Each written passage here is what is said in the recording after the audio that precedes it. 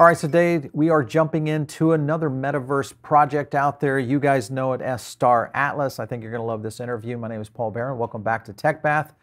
The gaming industry, when it comes to blockchain, has really exploded. There's a handful of companies that are starting to kind of come to the top and really are making waves. And one of them is a company and a project called Star Atlas. Joining me today is Michael Wagner, their CEO. So great to have you on the show. Hey, Paul. Great to be here. Thank you. Excellent. So you're coming to us live from Las Vegas.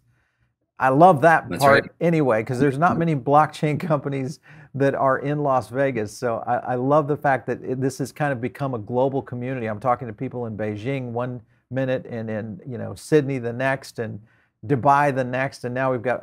It's good to have a home a home crowd here on the show. So it's fun. Yeah, I mean, Las Vegas is a it's a city that never sleeps, and uh, building this company has proven that that's a necessity. So, uh, Big time. Uh, but love Vegas, great city. But yeah, uh, fantastic to be joining you.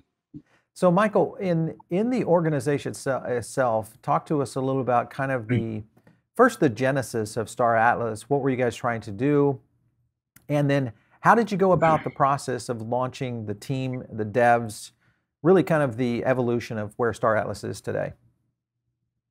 Sure. Um, I, I would really take you back uh, quite a few years now, going back to 2013 is where I got my start in uh, cryptocurrency and Bitcoin through uh, scrypt coin mining with GPUs. Um, you know, I come from a background in traditional finance. I'm a CFA charter holder, worked in portfolio management, investment and securities analysis, and identified pretty early on that these, you know, cryptocurrencies, digital assets could be an alternative asset class. In fact, I was pushing pretty hard back in those years to uh, get things like Bitcoin included in client portfolios, but um, clearly the industry was still in a in a very uh, uh, infant stage, and so Right. a lot of skepticism around the potential of it. But um, uh, you know, I got in, in in 2013, scrypt coin mining. Really poor timing on my own behalf. It was right at the peak of uh, a bull market cycle at that time, and um, uh, you know, this immediately preceded the collapse of Mt. Gox. And so, from a business standpoint, creating these GPU rigs to mine coins uh, wasn't very lucrative. But fortunately for me, it did captivate my interest in the potential of the technology and the potential of the industry. And so I spent the next couple of years just um, doing as much research and analysis as I could about uh, what was possible with this new realm of tech. And so in 2015, went full time into cryptocurrency, gave up my formal career, launched my first company in 2016. And through that process of launching that company, I ended up recruiting uh, two guys by the name of Danny Floyd and Jacob Floyd. Now, these are two team members that went on to co found Star Atlas with me. And so we were operating this other company I own. It's, it's called Tokes. It's at the intersection of crypto and cannabis, providing decentralized financial infrastructure for the legal cannabis industry. Um, but we were experiencing a bit, uh, experiencing a bit of a lull. So um, in mid 2020, uh, we were still kind of in the depths of uh, uh, secular bear cycle, I guess I would say, in cryptocurrencies. And um, we had identified what was emerging through not only NFTs and predominantly collectible NFTs, not utility driven NFTs at the time, uh, but also this emergence of DeFi, so decentralized finance, as well as the very nascent stages of blockchain gaming. And uh, Danny, Jacob, and I all have a deep background in gaming. Uh, Danny, in particular, has uh, an enormous amount of experience in AAA game development. And so, uh, mid 2020, we conceptualized Star Atlas, and the core concept was we can build a AAA quality game, the, the highest caliber and quality gaming experience, and um, enhance that through financial incentives and mechanisms only available through blockchain and through decentralized networks.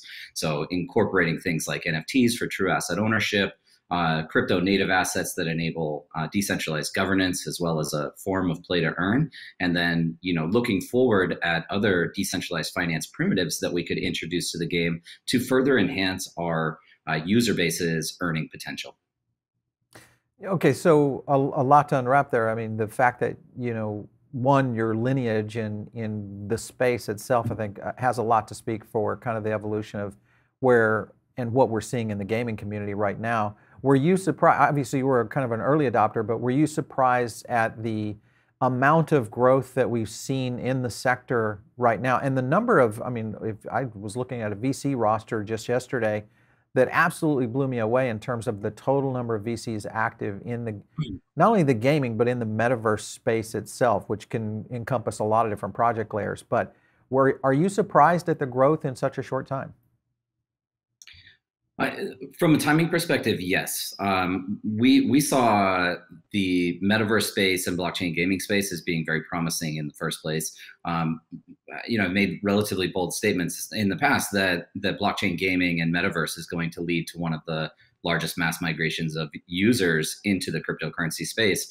Um, it's one of the you know preeminent, uh, maybe not first, but preeminent applications uh, within blockchain that uh, has true utility, value, and potential to attra- attract users for experiences that exist beyond things like pure speculation and trading of assets, and really um, kind of the reimagination of traditional finance instruments inside blockchain. So, um, not surprised that that at the growth, um, this has been an absolutely blockbuster year, though, and we're seeing just an enormous amount of innovation going on around blockchain gaming in general, and also, you know, major companies like Facebook rebranding and pivoting themselves right. to Meta. So uh, pretty pretty My, amazing.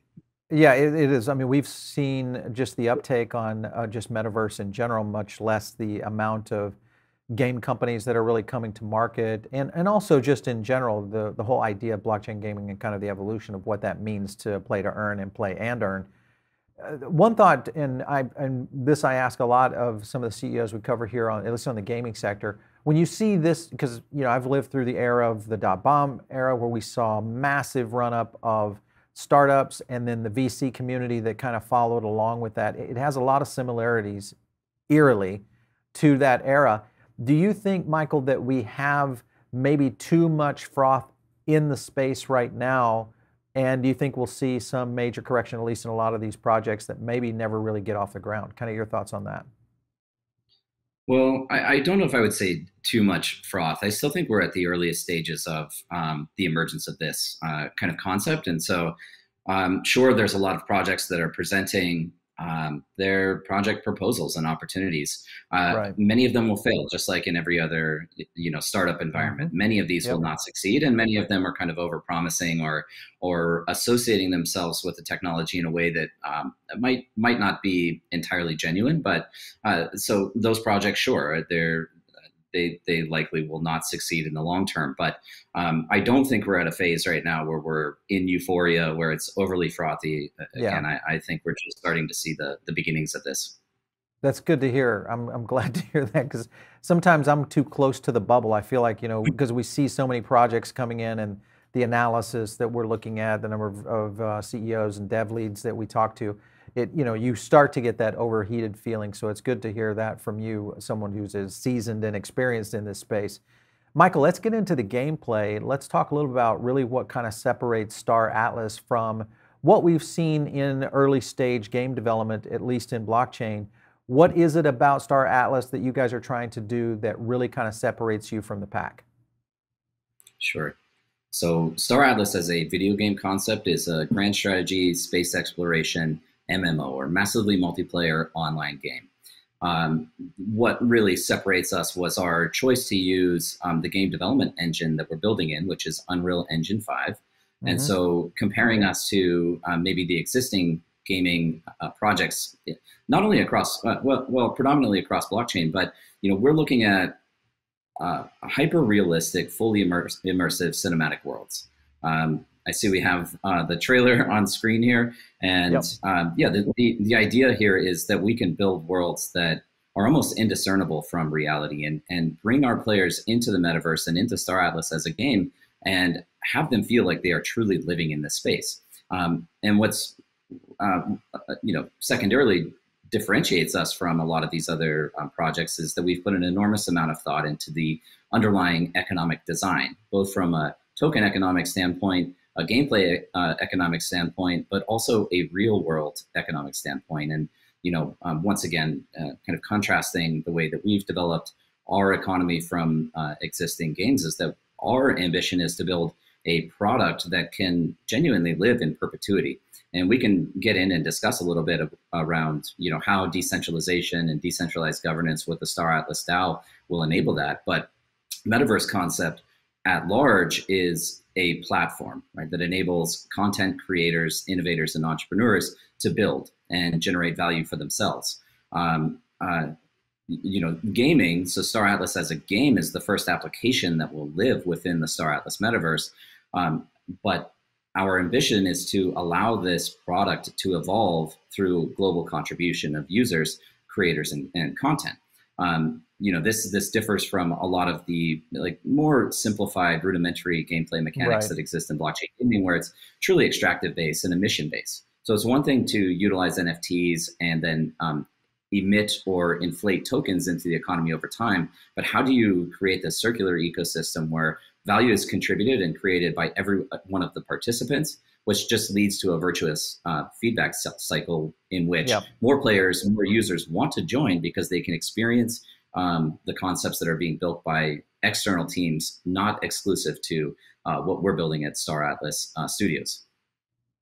Yeah, I think, well, that in itself, I think, does really kind of separate Star Atlas when we've looked at and analyzed the just the token projects in general, and then you get into the meta game or the metaverse games and the projects and the people that we've talked to, you know, the continuation and the narrative that we continue to look at is kind of really there's going to be layers of blockchain development. There's going to be more advanced gameplay. There's going to be what you're talking about, AAA level studio quality games and then kind of this next evolution of both play to earn and play and earn because that's one of the arguments that many people make around just blockchain gaming in general is this it can't fall back to just a, a play to earn you know economy because uh, you're kind of forcing people into that kind of format versus somebody who's really going into the game to enjoy themselves and have you know a complete new experience and oh by the way there might be some earning opportunities in there as well so i think that is going to be a big separator of games that really make it in the future.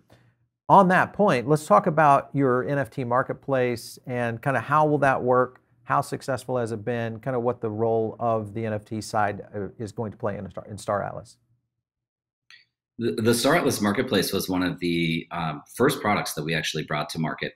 Um, so we announced and debuted to the public just in January of this year as a mm-hmm. as a concept. So that that included the release of our uh, white paper with all of the gameplay mechanics and gameplay pillars, uh, as well as an announcement around an initial uh, initial uh, kind of seed round funding through token sales. And um, you know, starting in January, we we were already recruiting new engineers and new talent to the team, um, and then as early as April, we launched uh, really the most robust and one of the first uh, NFT marketplaces on the Solana ecosystem.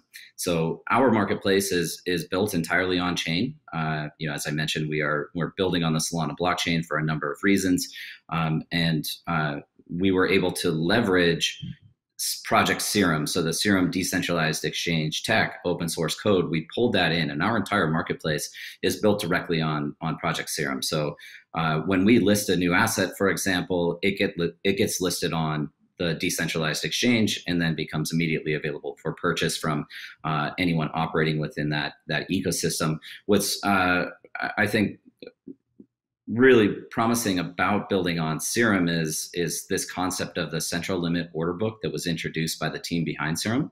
Uh, mm-hmm. This differs from the way that most decentralized finance applications work, wherein you essentially have a single pool of liquidity that exists on uh, on any one of those DeFi platforms. Uh, across Solana and the Serum ecosystem, any user interface can actually tap into the, the same unified uh, liquidity pool. And so we've actually seen a, a, quite a bit of innovation go on uh, and arise around the Star Atlas project with people that are building their own UI, tapping into that same liquidity pool and tapping into that same decentralized exchange.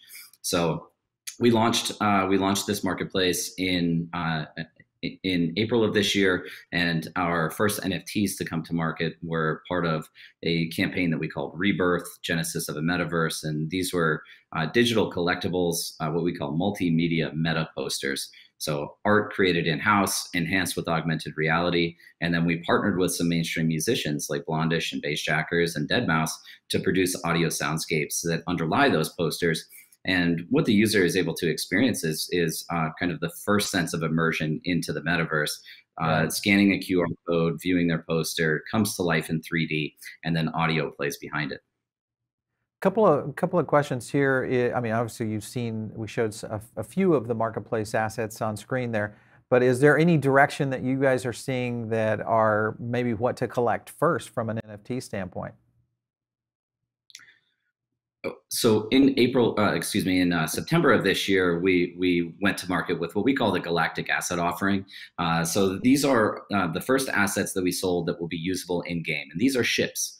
Now we right. have a wide range of, of, ships that are going to be available for play. Uh, currently scoped out over 140 ships, and we've released. Uh, something like 21 of those ships to date, and they all have different size classes, um, categorization of, of what their intended use is. So things like freighters versus fighters, stealth, bounty hunters, um, uh, racers. We have all kinds of uh, different ships that are available. So, I, you know, it's hard to recommend um, any make any broad recommendation as to which one to purchase. It, it really depends on what the uh, the gamer's gameplay style, intended gameplay style is. So, if you want to be mining uh, and extracting ore from a planet somewhere and hauling that across the universe, then you know owning a freighter would probably be most suitable for them. But if you if you want to go out and engage in PvP or player versus player combat, then having a fighter uh, would be relevant. But really, what we're seeing are massive guilds forming.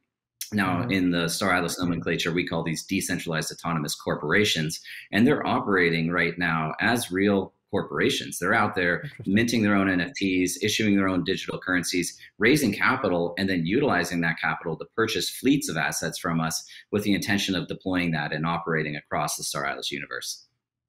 Yeah, we've been actually have been in contact with a few of these that uh, I've been amazed at, at kind of this ecosystem that's already starting to develop around Star Atlas for sure. When you okay, so you look at the ecosystem, you look at kind of how you guys have reformatted what NFTs really are about uh, talk about the meta posters again, because I thought this was really something you glossed over on, and I feel like this is a huge variation in NFTs that really could kind of leverage up where the NFT market is going. How did meta, meta posters come about? Kind of what's the future of that? Any secret or hidden potential agenda down the road? Well, it was a it was a really fun campaign. So it, uh, Rebirth ran from uh, uh, the end of April through the end of July, and uh, we had a couple of motivations there. Obviously, generating revenue was one of those. Um, but through this 14 poster, 14 week campaign, uh, what we executed on was revealing lore and background and story behind Star Atlas. So once again, thinking about very high quality images that we produce in house, um, and then the augmented reality and audio soundscapes behind them uh, the idea was okay let's introduce people to the story how we got to where we are in the star atlas universe which is really an extension of our of our physical reality as it exists today um, at least in the in the plot and story of, of star atlas. But uh, over uh, each one of these weeks as we reveal a new poster uh, the user gets to expand their uh, knowledge and awareness of, of that lore of the game and so uh, it, it, enabled us to generate a, a, pretty considerable amount of revenue, especially early on. It was, uh, you know, in the six and a half million dollar range over the, the 14 week period. Um, you know, obviously this revenue is being uh, 100% reinvested back into the growth and development of the company because we have a very ambitious uh, vision ahead of us that, and, a, and a very long development roadmap. But um, so it, it also allowed us to continuously grow and expand on our community over those 14 weeks because there was a lot of social media sharing. And it's one of the mm-hmm. reasons why we um, wanted to create this this immersive experience is because people were super excited about seeing these. And uh, while we believe more in the potential of utility driven assets in the long term uh, I, I, absolutely appreciate the uh, art and cultural value of collectability as well. So those were you know just just some of the uh, motivations behind uh, behind the campaign. But on top of that, we also had a, a, pretty great economic structure with incentives and bonuses that were baked in. So for users right. that were purchasing the posters and collecting through this series, um, uh, reaching various tiers or milestones of, of the collection, they were also rewarded with in-game assets. Now, we executed on that through a, a snapshot, a blockchain snapshot, so kind of capturing uh, a state of the blockchain at a fixed point in time. And then based on that snapshot data, we delivered things like ships and skins, custom emotes, uh, land and land claims, and then buildings and structures and mining equipment that would live on that. So the value that we delivered significantly outweighed the kind of the cost of the posters initially, and it was one of the ways that we were able to reward those early supporters that were purchasing these collectibles from us. Yeah. I, I, thought it was, you know, it seems to be, you know, kind of this next level for the NFT side of things, is we are seeing a lot more innovation in how NFTs are being constructed, especially with utility aspects around NFTs. Explain how you see the utility future with that NFTs within the Star Atlas ecosystem and gaming opportunities. So the primary asset classes that exist across Star, Star Atlas include the ships. Um, now these ships uh, are going are fully 3D modeled you know interactive fleets that people can pilot and staff with crew members. So it's right. it's your ships it's your crew members it's components uh, um, and modifications that you can make to your ships so weaponry and shields and thrusters things like this. These are all nfts um, and then also land. So virtual real estate can be purchased buildings and structures that exist on that land so farming equipment mining equipment um, the farming and mining equipment all go into one of our dedicated gameplay loops, which is essentially a, a crafting system. So extracting ore from the planet enables um, uh, kind of the introduction of these materials into the supply chain. And through the mm-hmm. refinement of the materials and aggregation of them, players are able to create and mint their own NFTs based on blueprints that, that will be released over time. And so uh, we have guilds that are dedicated to nothing but mining operations because they want to be mass manufacturers of NFTs in the future. Um, and then, uh, you know, so beyond the land and, and building, there's also more, uh, call it social, uh, social real estate usage. And so these are player habitats that will exist on uh, space stations. And while the habitats are not productive in nature, it provides an environment, a, a virtual environment uh, for people to socialize, hang out with their friends, put their collectibles on display, um, and otherwise just spend time with other people and, and hang out in, uh, in space.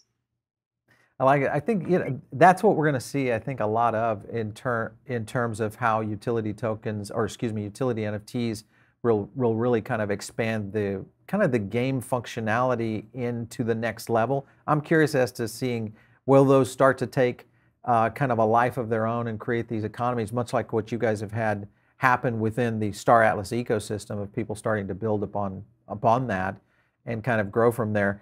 When you look at, I want to jump over to gameplay types and a little bit around kind of the grand strategy, exploration, the RPG game, space flight, simulation, et cetera. Which route are you guys going to take in terms of first release? So we're, we're developing on two concurrent tracks. Um, we are releasing this concept of a mini game, which is an in-browser web app um, mm-hmm. And concurrently, we're developing out the hyper realistic, fully immersive world in Unreal Engine 5. Now, Unreal Engine 5 development is going to take considerably longer than it will for us to develop out more of the rudimentary gameplay mechanics that we can deliver in browser. So, the 1st mm-hmm. releases that, that users will see, and actually, we have a release that's targeted uh, to, to uh, come out on December 16th, so just in mm-hmm. uh, eight days yep. now uh, is, is what we call SCORE. This is ship commissions on remote expeditions. And effectively, what it is is the ability to take your NFTs, enlist those in the faction, eh, one of the three factions that you will have joined as a player across the Star Atlas universe, and um, and manage resources associated with those ships. So food, fuel, ammunition, and then making sure that your ship is repaired. Um, once again, this is kind of one of the unique aspects of the way that we're developing the Star Atlas economy is that we we treat it uh, very much like real world business operations. So while players are able to earn with any of the assets that they own, uh, there is a responsibility on them and kind of a burden on them to manage the efficiency of their operations, uh, wherein a portion of that revenue needs to be reinvested back into maintaining various assets. So if you're a pilot of a ship, that means you have to refuel it over time. If you take damage, you have to repair that. You have to feed your crew as you progress through space. And, and likewise, on land, you're paying land value tax just to own the land, uh, which is kind of a, a, recurring, consistent expense for the landowner, uh, as well as replacing and repairing mining equipment. If your mining drill wears out and you want to continue extracting ore, you have to purchase uh, a, a new mining drill. And, and so all of these expenses, though, actually get recaptured by the metaverse economy itself, and those flow directly into our Star Atlas DAO. So, without getting too deep into that side of things, the, the Star Atlas DAO is essentially what is going to enable full decentralized governance um, and decision making around the future design, development, and evolution of Star Atlas over time. And so, the part of the reward mechanism for them is that all of the economic operating costs that exists uh, throughout the entire GDP of Star Atlas economy flows directly into that into that DAO, and they get to determine those governors and stakeholders get to determine what to uh, what to do with those proceeds. I think first of all, I think the DAO. Uh, you know, role in a lot of where some of these ecosystems will go in the future, because I think that is truly going to be the future of how, especially in when you think about blockchain gaming and what that means to community-driven projects like what you guys are trying to build uh, it's going to be even more and more evident that that's going to be the route to take. I want to j- jump into Solana. Obviously, you guys are, are building within the Solana ecosystem. Your thoughts of what the advantages are there with that and uh, kind of where that future might go in maybe the next, say, 18 months? We were quite an early adopter to Solana um, you know, this was part of the early conceptualization phase of Star Atlas in mid 2020, analyzing what uh, you know we, we consider to be generation three layer one protocols, so kind of the mm-hmm. emerging uh, layer ones that were that were coming out at the time, and you know, really the the the most critical aspect of selecting a, a protocol to build on was you know what is the scalability of this network we're looking right. at Star Atlas in terms of not hundreds of thousands or even millions of users, but as we emerge into the metaverse space and create this open economy, potentially billions of users from around the world will be will be using our platform. And so we need underlying tech, a platform that we're building on that is capable of scaling uh, to those levels. And and while Solana might not be there yet, we believe that it is probably the only network that is going to be capable of that going into the future. And so that includes things like very high transaction throughput greater than 65,000 transactions per second, um, currently uh, capable on, on Solana, uh, um, uh, low transaction costs. Uh, less than one penny per transaction on Solana. And then, really, one of the other critical aspects for us was uh, this low latency. So sub-second finality right. on state changes on the network. That's very, very important if you're a gamer. Um, and any of the gamers out there that are listening will will uh, fully appreciate that one of the things that's most frustrating when you're playing a video game is if you're experiencing lag right? Uh, it will get you killed and it just reduces the quality of the gameplay experience overall. So again from a tech standpoint we really saw solana as being superior um, but also we saw a major opportunity to have a symbiotic relationship with them through the early selection of that platform at the time when we uh, kind of finalized our relationship, this was August or September of 2020, there were only maybe uh, 20 projects, 20 or 25 projects that were actually building on the network at the time. Uh, mm. They saw massive potential in us to bring a huge user base uh, into the Solana ecosystem. And we also saw um, the potential for them to, you know, cross promote and support and leverage uh, the existing community that, that they had. Um, and we did see that materialize. They were they were very helpful in promoting us uh, to their community early on. This bootstrapped the growth of our community, and it's really only grown exponentially from there. And then one final point that I would kind of add on this is that we do have a major emphasis of integrating DeFi components into Star Atlas. And one of the major emphases of development uh, across Solana is the, you know, the DeFi ecosystem. And so we're able to benefit from all of the innovation from all of these teams all over the world um, in, in, developing um, protocols uh, and, and, code that we can essentially directly integrate because we're all on the same protocol. Uh, so this would include things like insurance policies that mm-hmm. you might want to purchase an insurance policy on your ship uh, in case it gets destroyed in space. Um, things like decentralized lending which uh, we saw this uh, really come to fruition through Yield Guild games on right. Axie Infinity, which is one of the earliest blockchain games, uh, but through their scholarship model, wherein not everybody can purchase some of these assets, you know, because of uh, you know financial uh, access, but they can borrow one of these assets, utilize it in game, and the trade-off for them is that they're you know they're spending time to be an operator, they earn income, and then that income gets shared with the owner of the asset. And so, um, you know, this these are these types of tools are currently coming to Solana now, and we're very much looking forward to providing yeah. that tool set to our user base. Uh, you know, Michael, we've we've watched uh, you know projects like Axie. If you look at Illuvium, which are somewhat I won't say based on, but in in some way anchored to what's happening with Ethereum and just high gas fees, kind of the evolution of where ETH 2.0 is going to go for ecosystems that are building in that.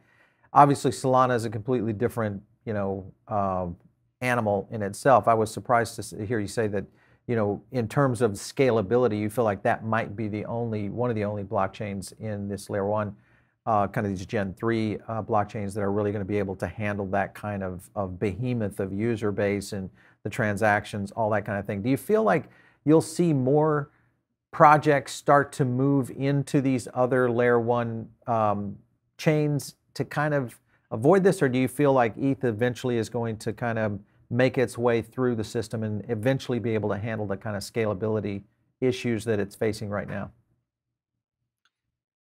I would say it's questionable. Obviously, the discussion around uh, moving Ethereum to proof of stake um, and also, you know, ETH 2.0, which should in, in, improve the efficiency of the network, lower costs, uh, create higher right. transaction throughput.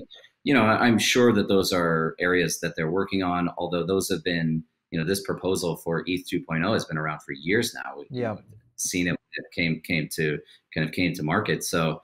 Um, what the advantage that Ethereum has is first mover, right? So yep. they uh, EVM was the first smart contract platform to exist, launched mm-hmm. in I want to say 2014 or 2015, and um, and so now there's a, a, tremendous amount of innovation that's going on there. But uh, we're we're very quickly seeing different layer one protocols take market share from Ethereum, and yeah. Um, you know the the tech where it stands today is is superior on at least for these applications is superior on other chains. And and um, with that being said though we you know we are still very very early across all of the ecosystem and across blockchain adoption in general. So while ethereum had a great first mover advantage i'm kind of curious to see where these many new millions of new users that are going to be entering crypto what will be their first experience on blockchain? Yeah. and to, to, my exact point earlier on uh, we see the potential to on ramp millions to billions of users and we'll be bringing them onto solana because that's where we're building right? Yeah uh, uh, well and i think your your point to that is scalability is going to come much faster. Back to my point that i made in the beginning of the show is that we've been surprised at the scale and growth of the segment uh, as aggressive as it has grown, especially here in 2021, where we're seeing just absolutely no stopping. If anything, just an acceleration. We may be on the very edge of just seeing where that bell curve will grow. So I think you're right. To your point, is scalability, on ramp, ease of use, and the ability to go mainstream is going to be very critical with any games that really start to go global uh, in in this era. Talk to me about the token architecture with Atlas and Polis and how those will be utilized in the game. Kind of give me a rundown of what, what the functionality is going to look like within Star Atlas for the token architecture. Yeah, we, we operate a, a dual token ecosystem, as we say. Atlas is uh, uh, the in game currency, and I say in game currency somewhat loosely.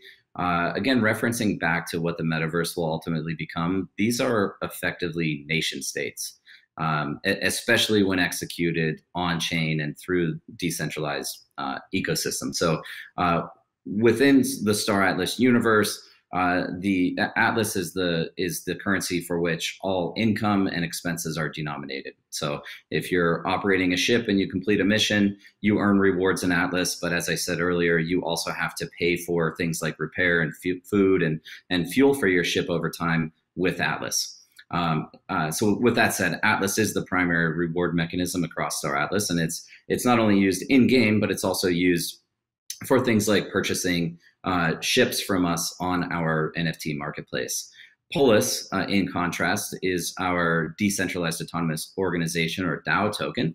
Uh, and what that will permit is owners who, who hold Polis, stake it, they become governors of the network uh, they are able to introduce proposals and the community is able to vote on proposals in terms of what the future design and development of Star Atlas looks like in general. And that includes uh, decision making around economics. So, what are inflation rates or release schedules inside Star Atlas? Uh, while we have those predetermined and scoped out in our uh, game economic white paper, uh, those uh, uh, the decisions uh, of the community will directly impact how that gets effectuated in the future.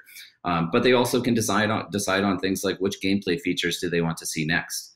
Um, what what are the asset release schedules? What is the general growth and inflation or expansion of the universe itself?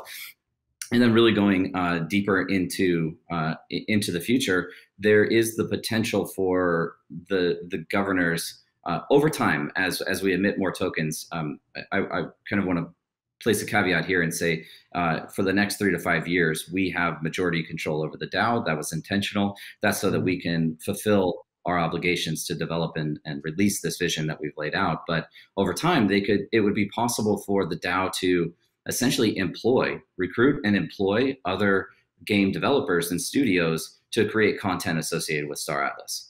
And so, what that leads to, and, and why I refer to uh, our metaverse as something that can live on in perpetuity, uh, not just 10 years or 20 years, but really hundreds, hundreds of years or thousands of years, is that uh, with or without us, you know, assuming that there there is stewardship of the metaverse through the DAO, uh, new innovators and entrepreneurs can bring content and continue to build upon what Star Atlas is. So it's not essential that we're here in the long term because the product can continue to evolve. Yeah, for sure. And I think those kind of lofty goals are going to be very critical to kind of uh, when you look at the overall gaming aspect of what the global community looks like today in terms of total number of players, the market size of where gaming is today. I think it was this recent report around 350 billion, and people now pointing that that could double in the next five to seven years. So closing in on what could be in this decade a trillion dollar market for where, especially when, with the introduction of blockchain and the acceleration of blockchain gaming. My question is between Web 2.0 and Web 3.0 development that we are, we are seeing kind of just birth right here in front of us right now. Do you see that those two, you know, those two environments are eventually going to merge into one unification of how gaming in general will be looked at in the future, or do you think we'll continue to see kind of two completely different arenas? around blockchain and what we see now in traditional Web 2.0? Oh, I think Web 3.0 is definitely the future, and, and Web 3 is really uh, by you know decentralized distributed networks that are effectively owned and incentivized by the people that are operating within them. Um, I think the metaverse is actually the next evolution of Web 3.0, and now they're yeah. you know they're actually being developed in parallel. And kind of going back to your point on the potential economy of gaming, while that might become a trillion dollar economy, the potential of the metaverse itself is a multi-trillion dollar economy. It is sure. absolutely enormous because we're not only talking about gaming. As i said gaming is one of the applications that we're building within the star atlas metaverse. It is our flagship product and and it's going to be entertaining engaging exciting. It's going to attract millions or billions of users but the metaverse itself introduces all different types of aspects of interaction with the platform. So right. um, you know Mark Zuckerberg for whatever people want to say about him. You know, I think he out, and this is not an endorsement of you know their product Meta, but you know I think he outlines quite well what the social potential is for operating for inside sure. these fully virtual worlds. So whether that's working in space, hanging out with friends, um, learning, right? Education, academies, universities, virtual learning inside uh, inside metaverse will exist. And then one of the areas that I think will be most disrupted is commerce uh, e-commerce. It, you know, once when you have the opportunity to enter into a fully immersive world, shop inside one of these locations um, in Star Atlas, and uh, the goods that you purchase could be delivered to your physical residence. That is a superior shopping experience to simply, you know, going on Amazon.com or going on Zappos or whatever your favorite e-commerce site of choice is uh, to purchase products. You actually have the potential to interact with them either in AR or VR, and there's another emerging technology that is haptic suits, which is you know physical feedback mechanism for items that you touch. Uh, as all of these things evolve and grow over time, I, again, I, I believe that that virtual shopping experience, 3D shopping experiences, is, going to completely disrupt e-commerce. So there's many, many segments and industries that are just going to have to evolve in some way. And I think Web 2.0 eventually will die. Uh, web 3 is the future, and, and the metaverse yeah. is essentially the future of the web in general. It's so good to hear you say that because I am old school Web 2.0 and I feel like it needs its funeral.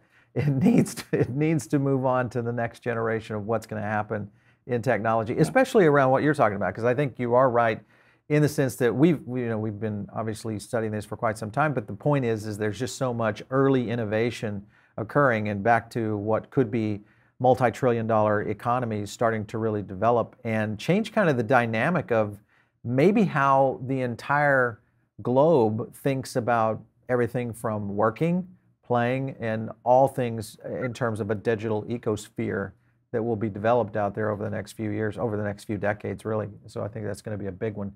Uh, Michael Wagner, it's been great uh, having you on the show today. Thank you so much for stopping in. Great to hear all that you guys are, are doing over at Star Atlas. Can't wait for this uh, this drop that you guys have coming soon. It's going to be fun to watch. Great, Paul. Thank you so much. Uh, really appreciate the conversation. You bet. All right, so you guys are tuned in over here on the podcast right now, make sure and jump over here to the YouTube channel. This is the place to catch interviews like this, but also the analysis, a lot of the technical side of things when we look at the crypto market and also blockchain in general. Also, don't forget to join the Diamond Circle. It's very simple. It's where all of our analysis drop in. We do a bunch of NFTs and also digital asset giveaways. We've got some big stuff coming your way as well in the Diamond Circle. So it's easy to join and it's free for you guys to jump in. And of course, if you have a topic or maybe a game or a metaverse project that you want us to take a look at, hit us in the comments below. Or you can, of course, hit me up on Twitter. It's at Paul Barron. Make sure and follow me there. We'll catch you next time right here on TechPath.